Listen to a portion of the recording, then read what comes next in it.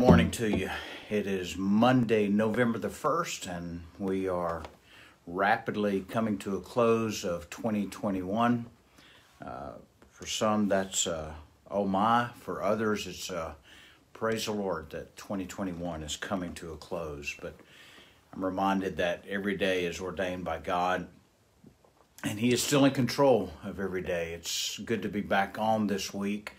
I'm not sure if I had announced last week or the week before that I would not be on Facebook Live last week, although my intentions were to be on on Thursday, but I took a short trip down to Miami to celebrate my birthday with two close friends and turned 60. And while I was there, I lost my phone. I left it in the Uber car.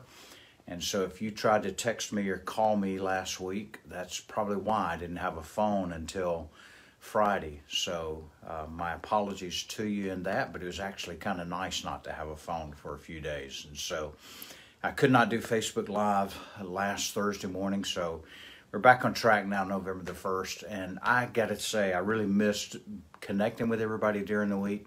I don't know if you ever have times like this when you're when you're away. Uh, for me, I just seem to get really disconnected from folks, and it's hard to catch up again. And uh, with that, there's so many different prayer requests, and I may I may miss one or two, but just share with you the uh, to continue to pray for Vanessa as she's in uh, her treatment for breast cancer. Pray for Constantine and Leah as he is still gaining strength, and and uh, we're believing the Lord's healing him of his cancer. Uh, also, I want to ask you to pray for Ronnie Sorrow. His dad's funeral was yesterday. His dad passed away. And Jimmy Casillo is caring for his dad now at home with hospice care. So be praying for Jimmy and his dad. Uh, there are a number of different surgeries coming up that people are facing. I know Glenda Smith is having next surgery. I think November the 10th. Barbara, you just text me and let me know that. And so, so many needs in the body. Encourage you to stay connected with everybody in your small group and in the church body. Um, it's easy to get separated and to get disconnected, as we're all aware, but we so need the body. Uh, Lynn, I'm looking forward to hearing from you how the women's prayer retreat was this past weekend. This morning, as I was reading through the rest of chapter 10 in John, this old hymn came to my mind, and uh, you'll see why in a little bit when we get into the passage. Take up thy cross and follow me. I heard my master say, I gave my life to ransom thee, surrender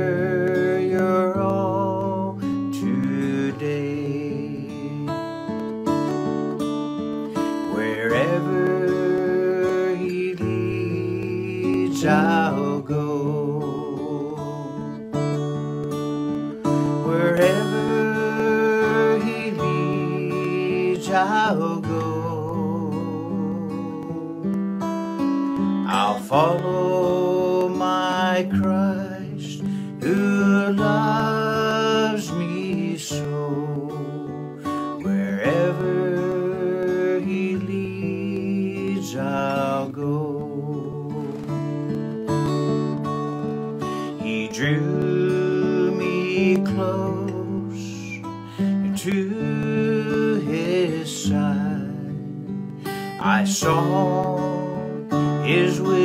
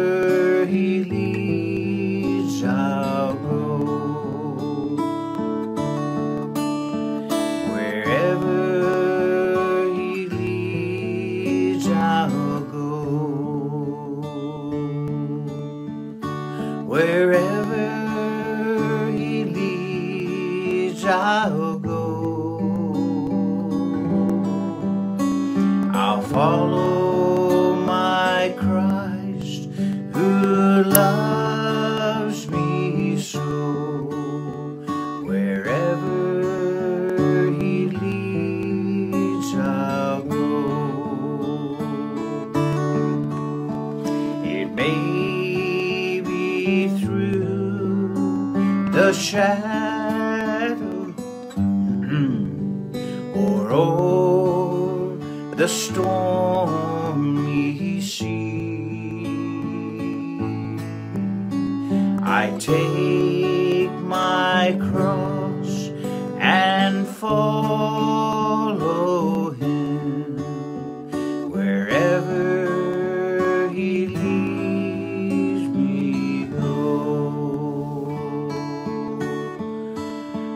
Heart, my life, my all I bring to Christ who loves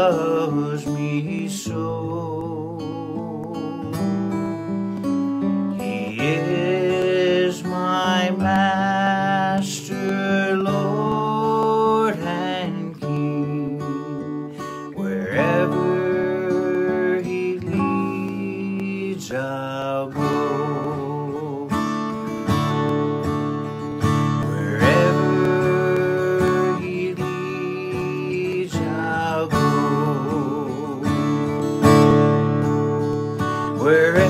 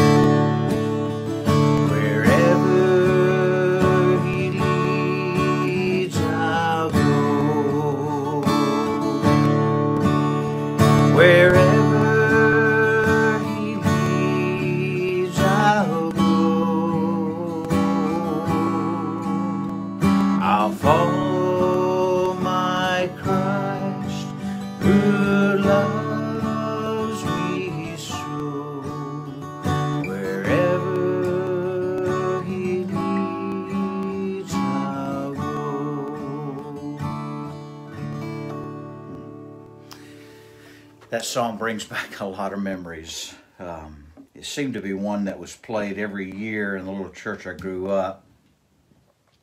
During revival week, remember we used to have those revival weeks, and uh, every service would usually start with the song "Revive Us Again," and would close with with that song. So uh, brings back a lot of memories.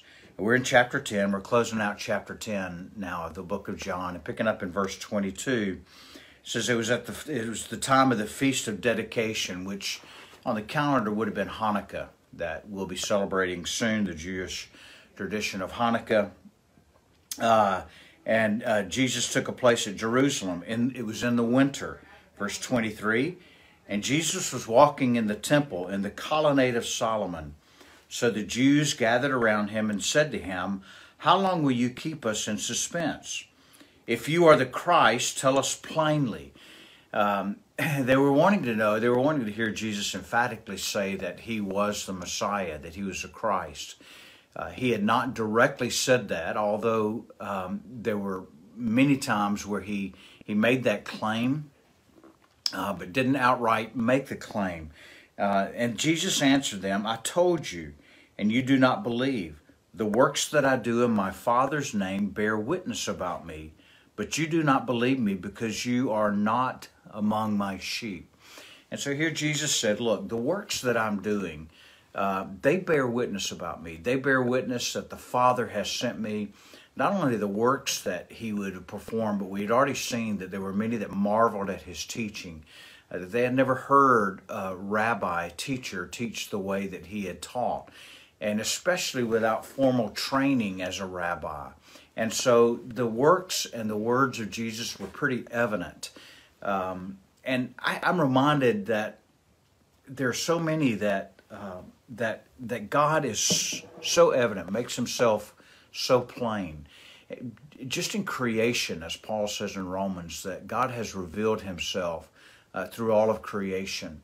And there were many in Jesus' days that saw his miracles, that saw the things he performed, and they followed after him for a little while. But when his sayings got hard, they departed from him. when his sayings got hard, such as um, you, you must eat of my flesh and drink of my blood, meaning that I've got to be your everything and you've got to turn, you've got to repent.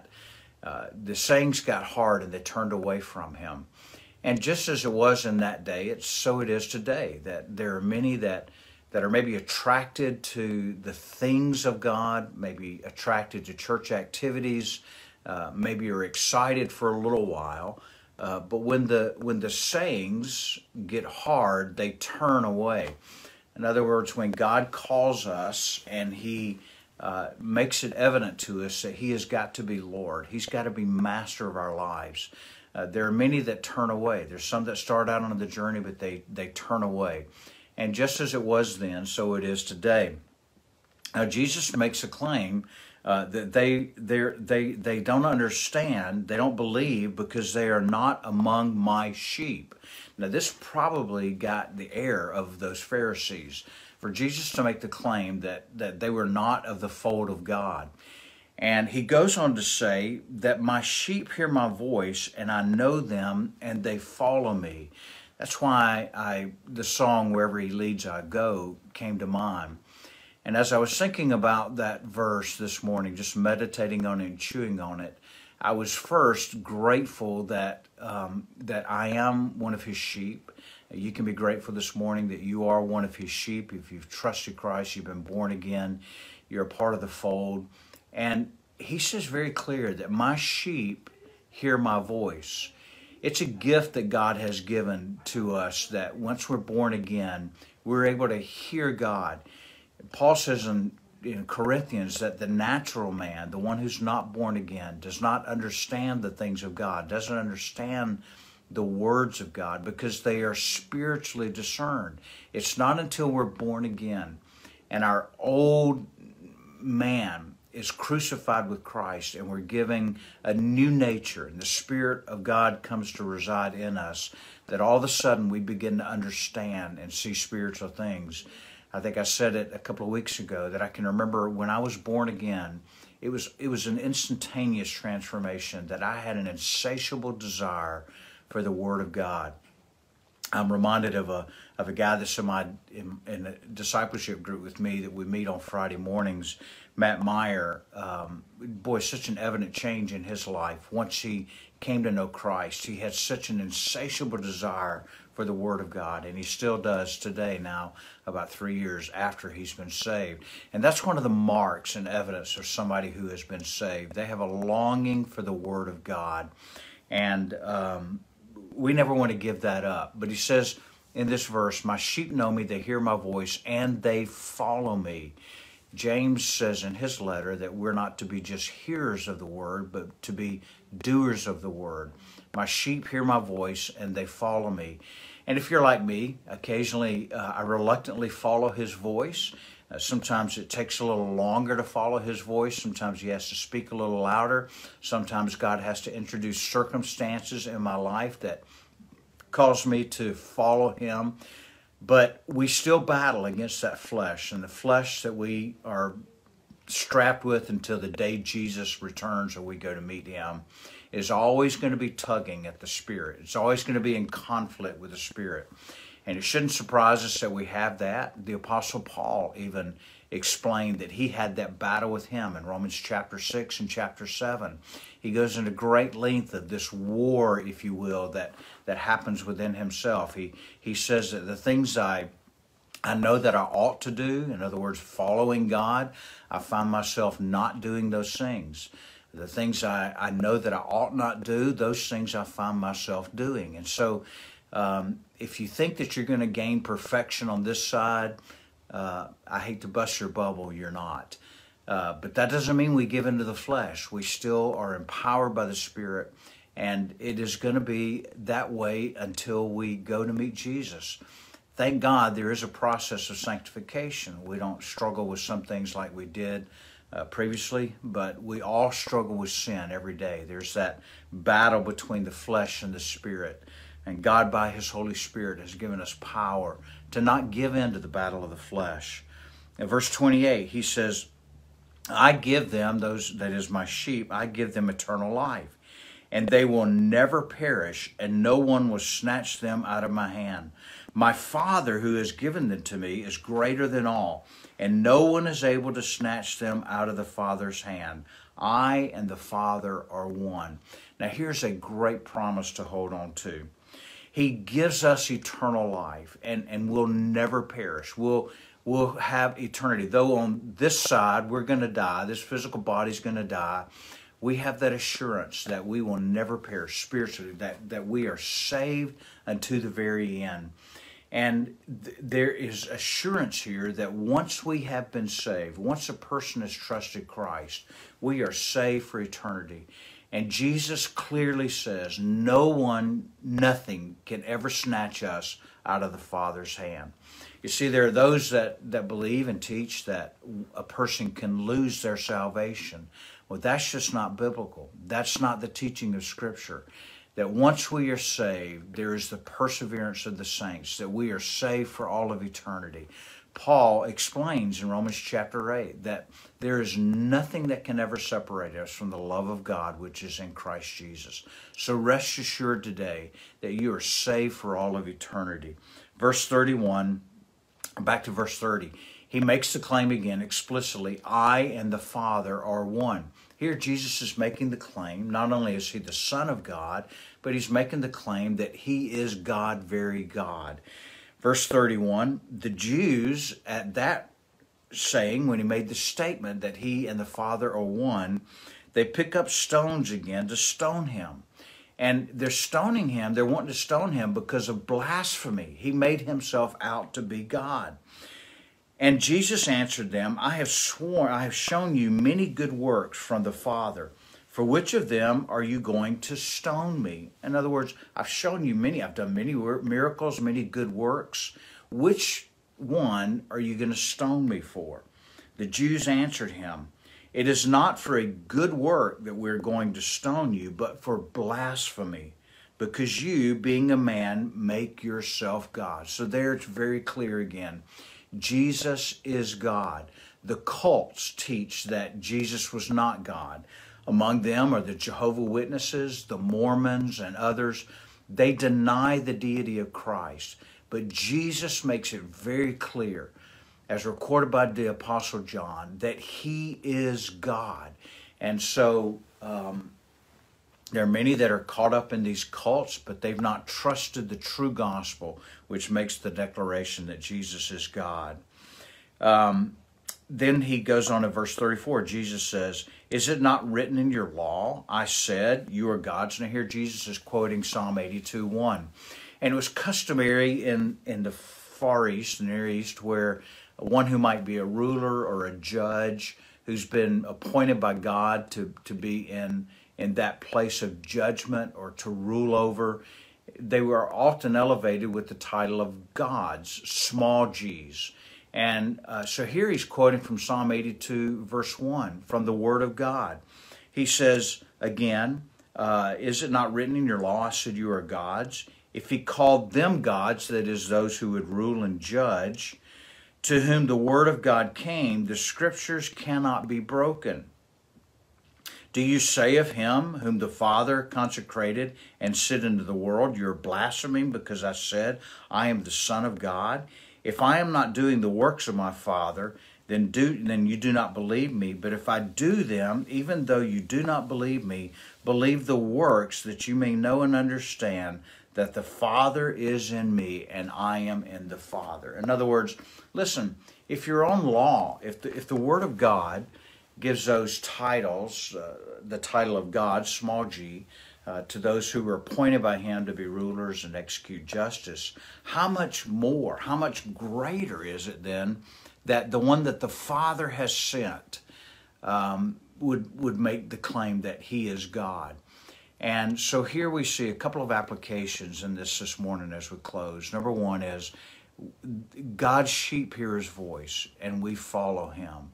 Open your heart, open your mind, open your eyes to the scriptures today and hear his voice. He speaks to us through his word and he speaks to us by the Holy Spirit in our hearts. Thank God that he is a good shepherd that speaks to us and he leads us and he calls us to follow him for righteousness' sake and for our own benefit in this life so that we're not led away by our flesh or led away by some other person that, that may lead us astray. But we're secure in Him. We hear His voice and we follow after His voice. Whatever it is He's speaking to you today, be obedient and follow that. Be quick to obey.